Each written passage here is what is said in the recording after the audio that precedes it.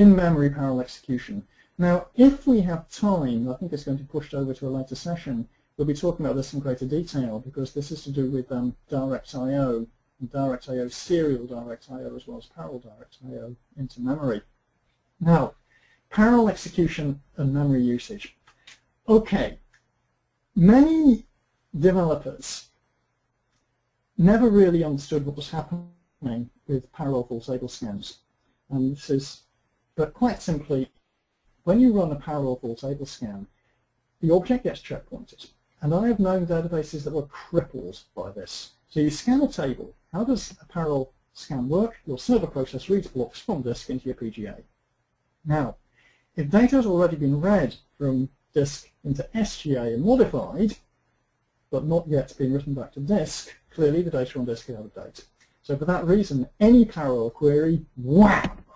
Database writer goes mad, the object gets checkpointed to disk. So a query causes disk writes. Yeah, this comes as a bit of a surprise to some programs who don't realize it. Uh, in a RAC, by the way, this is even more disastrous because in a RAC, you run your parallel query on one instance, and every instance in the cluster has to checkpoint the object. It's pretty bad. Then, and only then, your parallel execution servers read the blocks from the data files into your PGA.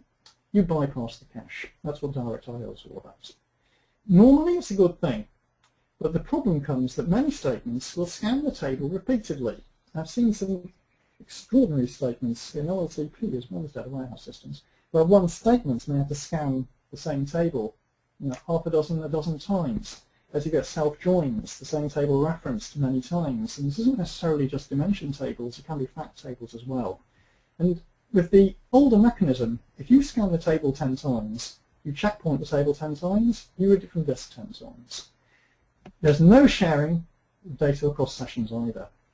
Now, we have a new technique, enabled automatically, no change to the software. Parallel reads can now be buffered in the SGA. So to see how this actually functions, again, guess what? It's our old friend parallel degree policy. If that is set, into, set to auto, then this mechanism can be automatically enabled. So if I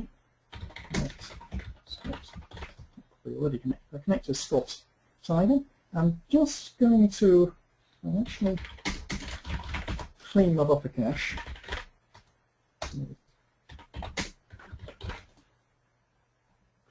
out. Now, what we should see shortly is that we have the ability to cache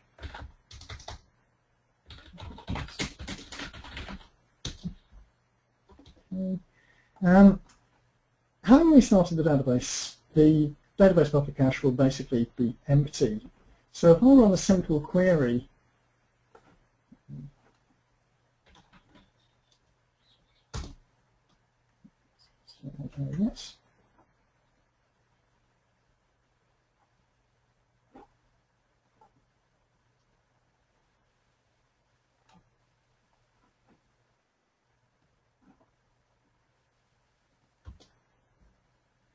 So I'm using just Scott.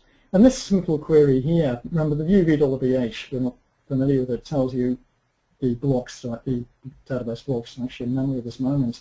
So all I'm doing here is saying what tables what blocks of the emp table, scott.emp, are in fact in memory right now. And of course they're not in memory at all. Now, we'll go back to the old technique, go to system set, and go back to manual, to the pre-9i technique, parallel degree policy equals manual. Do a full table scan. So, set scan from emp full table scan, theoretically of 10 billion rows, given the fakes the situation. And how many blocks are actually in memory? One. One block of is in memory. So what's going on? Enable the tracing facility.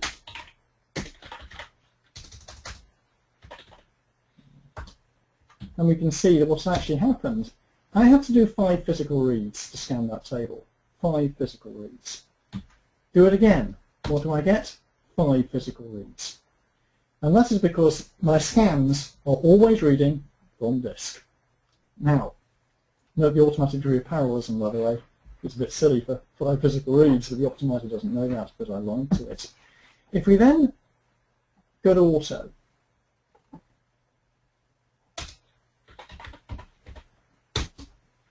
right, what happens now? Five physical reads, do it again, zero.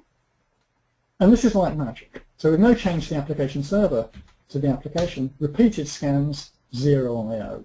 And if you look at what's actually in memory, oops, we can now see that there are indeed six blocks. The entire table is cached in memory.